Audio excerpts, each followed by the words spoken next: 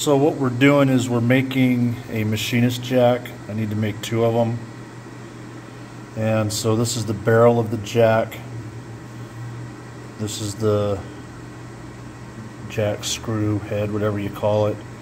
And then that is a locking nut. And I've already got one made.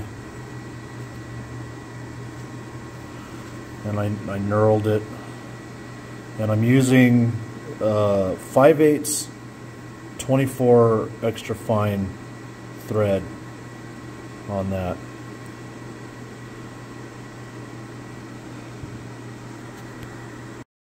So I'm set up in the lathe. I've already marked my two and a half inches right on there. And then I've got my other mark. You can barely see there, which marks a uh, quarter inch. And I've got another mark for where to put the parting tool because I'm going to put a bevel on the end of that. And then I've got my indicator set up for a stop. Once I get to zero, then I know where to stop.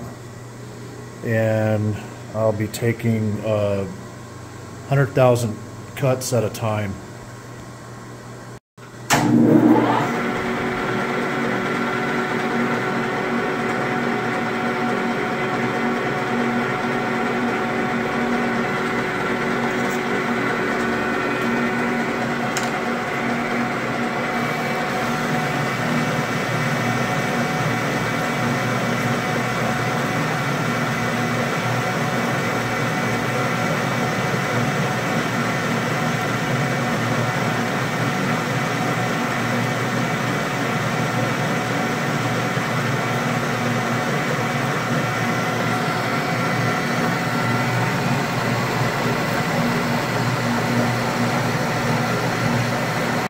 Thing I forgot to do, I cut the last one like this, and on this one, uh, I wanted to put the tailstock support in. I forgot to do that, so I'm going to go ahead and do that right now and then bring you back when I'm ready for the next cut.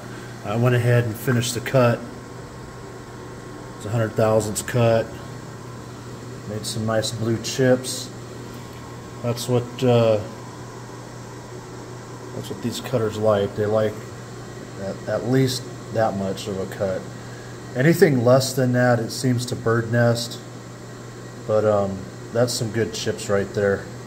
Alright, so I got that set up and we're ready to do our next hundred thousandths.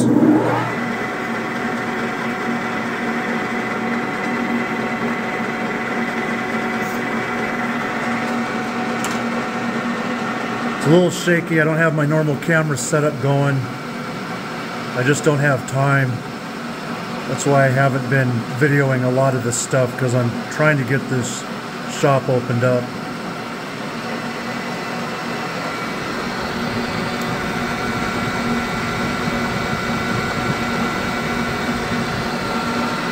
Yeah, that support really helps a lot because it was chattering before. Now the chatter has stopped.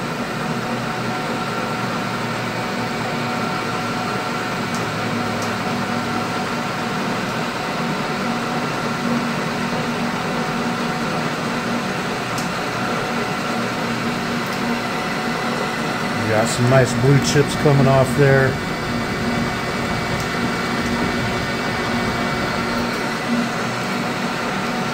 I've taken more. I've taken 120 thousandths, but I think 100 thousandths is what I need to do right now.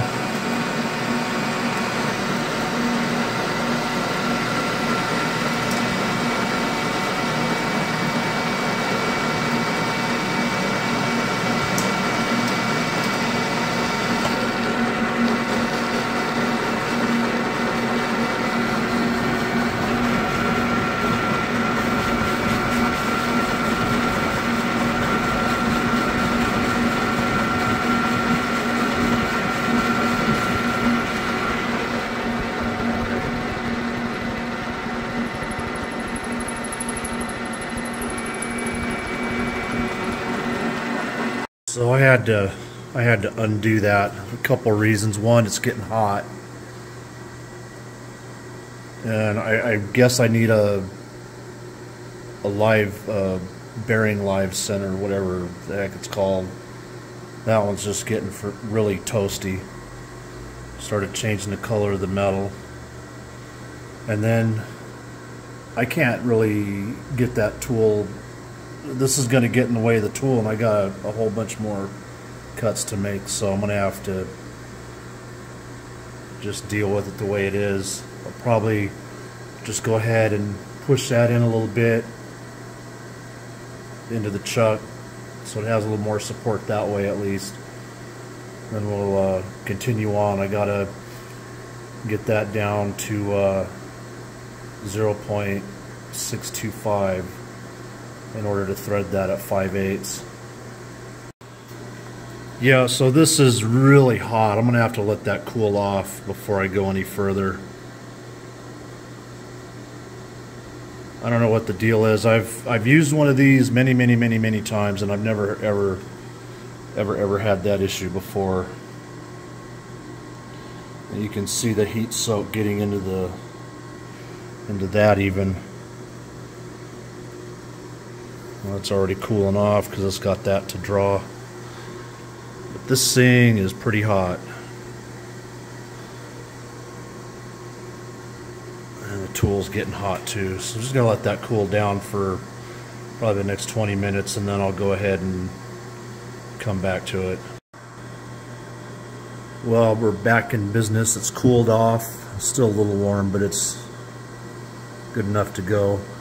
I moved it back, so that'll give it the support I need. Um, I already did one of these, so I did it without the tailstock. It's just that this will chatter a little bit. So anyway, we'll get the get this going.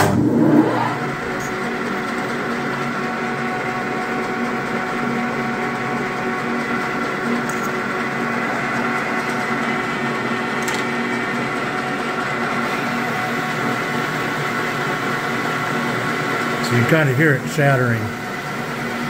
Very mild.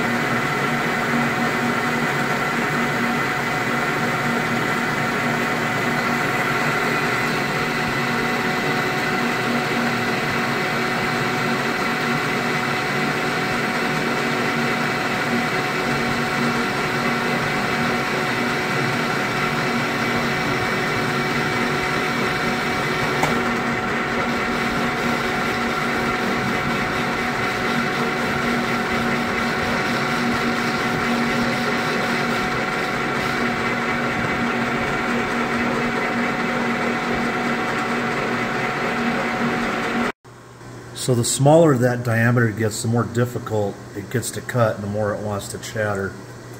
That's why I wanted to put the center rest, but at this point I don't even think I'd have enough clearance. So I don't really have much choice but to do it this way. But this is the last cut at 100 thousandths, and then um, then after that, uh, I'm going to do a 50 thousandths cut, and then see where I'm at after that.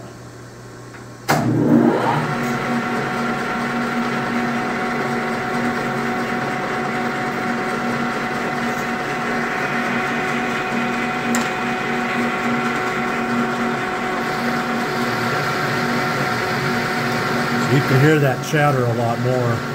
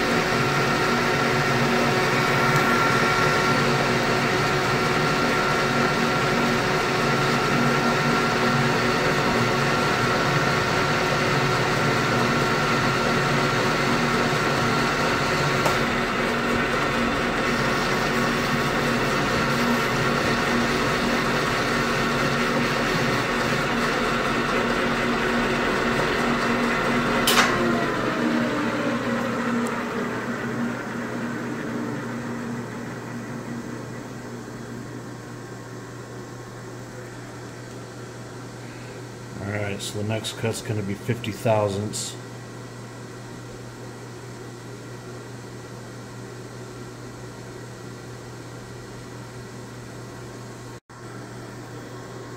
So we're ready to thread.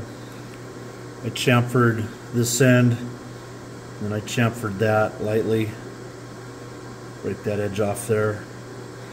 Then after this is threaded, then we'll start our cut. We'll cut into that a little bit. And then there'll be a chamfer between those two lines. And then I'm going to uh, knurl that. And then we'll part the thing the, the thing off and we'll be done.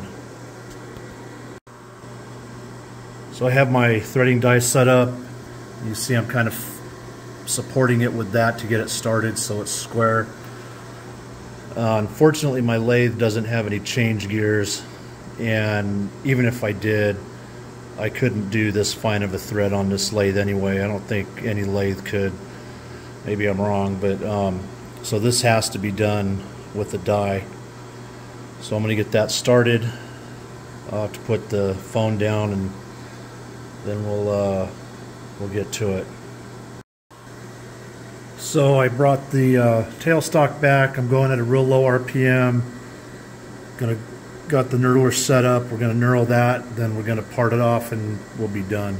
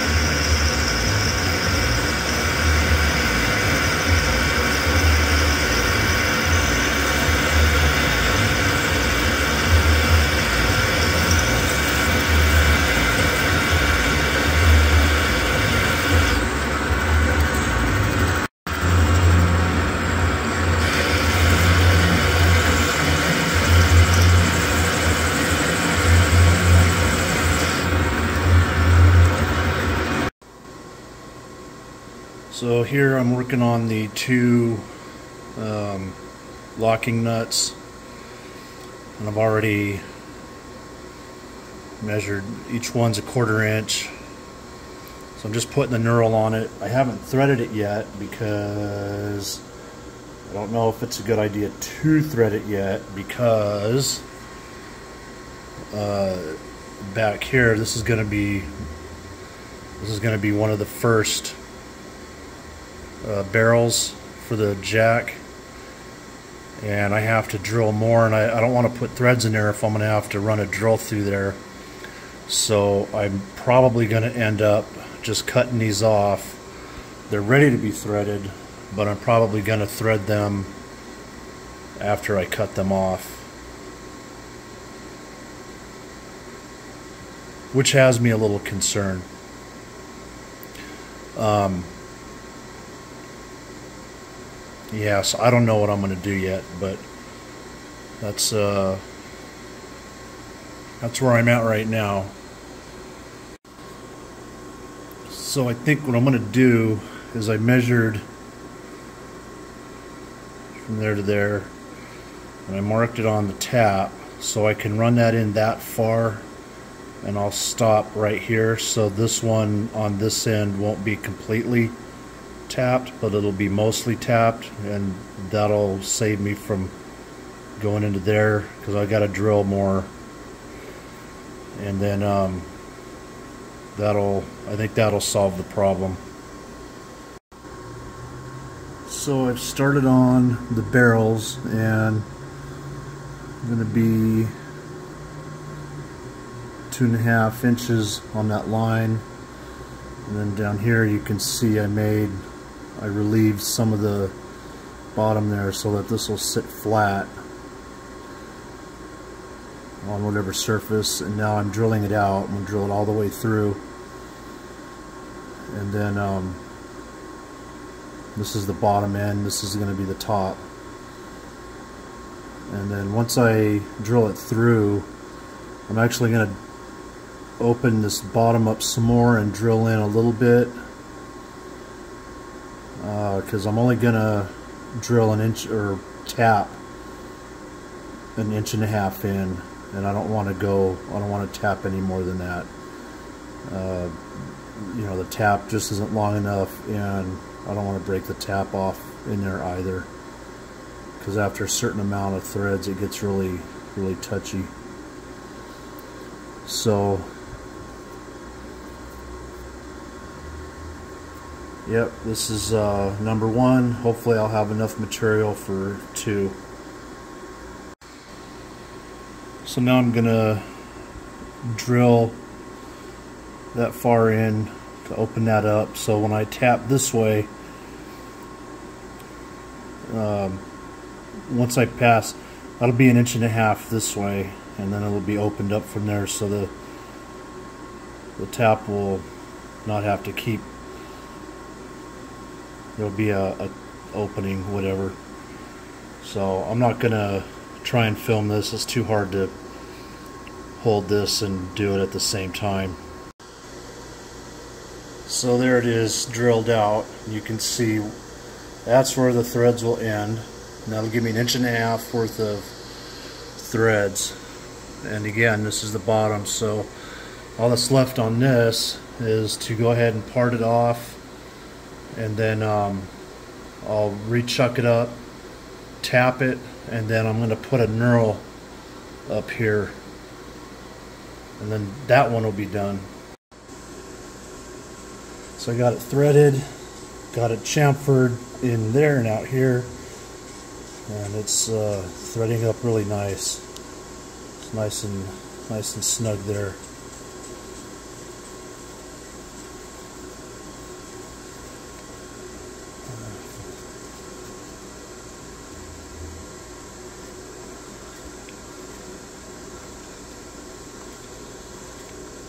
And probably run the tap one more time. It's a little tight there.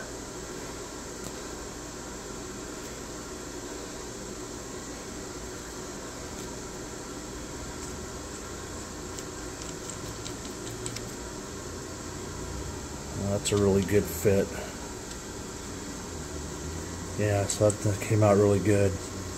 Just going to run the tap through there one more time just to loosen that end up.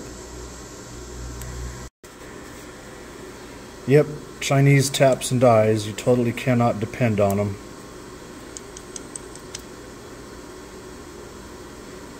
So I had to run the, the die over this a few times. This was fine, but the die going over this wasn't. So I'm going to replace those. I'm going to go to uh, the supplier that I know and see if he can get some uh, American-made ones. But otherwise, this is working. I'm going to put the knurl on it and then this one's going to be done. I mean, yeah, it's it's good now. So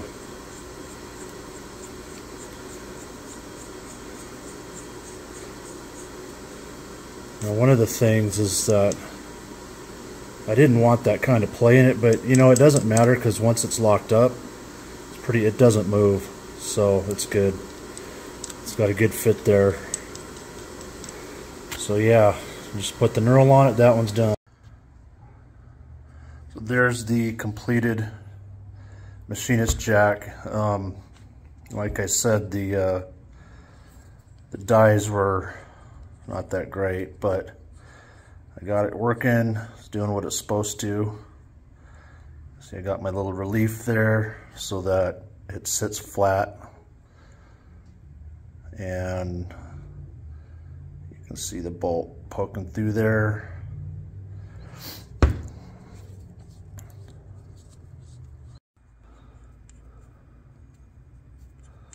It's kind of hard to do one-handed. I've been doing filming all this on my phone. I should have been using the, the normal camera, but I just am kind of short on time.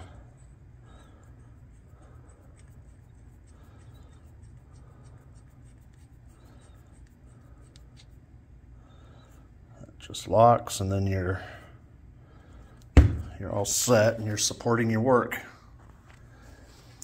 So yeah, that's it. So got knurling there to grip the barrel, got knurling there, knurling there. So I got good positive grip everywhere. So there it is. So there they are after much fuss and heartache. This second one was really binding up and I chased the threads again and again and again and again and I have no idea why it was binding up.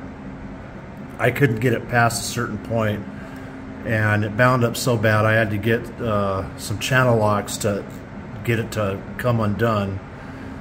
Um, you know, I, I measured it, the measurements were good. Uh, I rechased the threads. Uh, I don't know. I mean, um, I'm still kind of baffled. I even I checked the straightness against a square edge of the of this uh, jack, whatever you call it, and it was for the most part straight. Um, but I, I, took this to my belt sander and just very lightly went over the the threads, and um, then I chased them again, and then you know it worked. But it, as as it got to a certain point, it seems like there as I turn it, there was a sticking point, and then it would break free of that sticking point and then it would come to another sticking point, and then it would break free past that sticking point. I'm really, I still have no idea why, but it's working now. It'll loosen up over time. Um, you know, this was a learning experience, and I, I made a few mistakes, but um, these will work just fine. This is why I had to make these because I need to flatten this, and you know, when this cutter head is going over this, this thing's going to want to do this. And so, you know, I could have bought some machinist jacks, but I I needed the tooling. You know, I wanted to get the knurler. I needed the knurler, you know, so I went ahead and bought that. And um, I needed a few other tools uh, to do this, which I got. So I've got the tooling and you know it's a new shop and I, I need to build tooling up so if I can make the tool and I need the tooling I'll buy the tooling and I'll make the tool because I need the tooling so this even though I had problems it was a learning experience and um, you know one one of the things the head on this is thicker and I was going to talk about that a little bit uh, the night that I was working on this, it was late. It was like around 9:30 at night, and I don't. I was cutting the edge. There's you know a slight bevel on the top here, and I just simply didn't measure it. And you know, mostly it was because I was tired. You know, and when you're, I, I, it's like I want to drive through and get get it done. I don't want to wait till the next day, and I should have just stopped, gone to bed, and come back when I was fresh. So that was an avoidable mistake. Otherwise, um, everything came out pretty good. They're pretty similar. They're pretty identical. And um, I mean, just because it's a little thick, it's still going to work just fine. I know that it's not right, and I'll be making more of these down the road. I'm going to make some shorties some machinist jacks that are maybe this high and um, you know what I learned from these will be applied to those and um, I'll make a video of that and I won't do it over my phone like I did this one I just really did not have the time to set the camera up and get all that stuff set up and and then you know the camera's in my way and all that stuff I just don't have time right now uh, I got to get this shop up and running, and that's my main priority right now. So, uh, you know, in any case, there they are. I'll have them for many years to come. As soon as I get my forge set up, I'm going to go ahead and heat treat these and harden them. And um, I'm going to also uh, mark these with my name and a date. I don't know where I'm going to do that. I was thinking on maybe underneath here, you know, putting the marks underneath there where they won't be too easily noticeable. But otherwise, this works pretty good. You know, I got the the knurling works. The uh, yeah, I've already got them locked down. So yeah, they they lock, which is what I wanted. They lock really good. So yeah, that knurling really really is the, the deal there. But um, yeah, there they are. Very simple, very basic, and um, very functional. And these will these will last years to come, hopefully. I am going to get a new tap and die. Uh, I'm not really happy with how those performed. You know, they're Chinese. I, I bought them because there was a lot of good reviews, but then again, you know, when you think about it, the reviews weren't coming from machinists. They were coming from people that were working on a project and, you know, it's like, I, am to go to my supplier and I'm to take the tap and die and I'm to see if uh, they can get me an American-made version.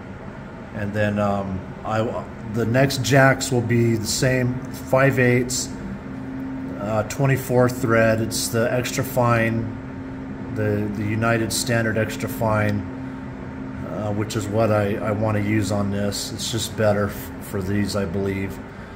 And um, then, you know, the next set that I make, I'll, I'll film and we'll, we'll see how those turn out.